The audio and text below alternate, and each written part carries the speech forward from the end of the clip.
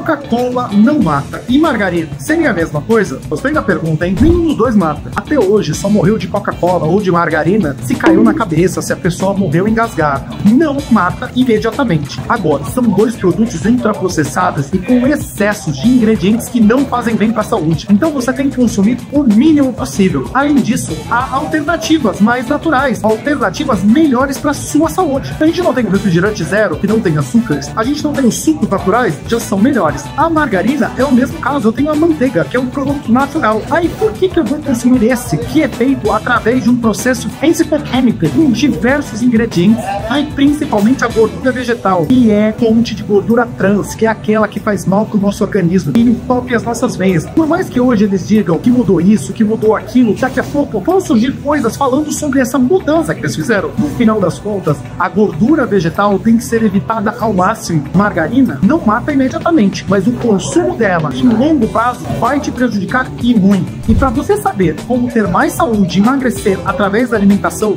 conheça o meu protocolo Cozinha Saudável. Clique no link da bio.